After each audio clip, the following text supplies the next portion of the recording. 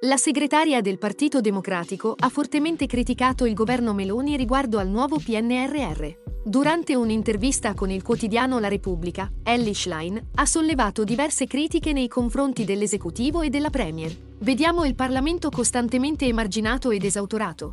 Nonostante il provvedimento riguardante la gestione del piano preveda una discussione e un voto di indirizzo preventivo da parte delle Camere in caso di modifiche, ha dichiarato la Schlein. Poi ha aggiunto: Da mesi stiamo pressando il governo perché venga a riferire in aula per aggiornarci sull'attuazione. Ci sono due Giorgia Meloni. Una è quella del video di ieri, in cui annuncia un ampio piano di prevenzione del dissesto e cura del territorio. L'altra è la leader del governo che riduce i finanziamenti del Piano Nazionale di Ripresa, già preventivati proprio per tali obiettivi. Questa è la dura critica della segretaria del Partito Democratico. E tu cosa ne pensi?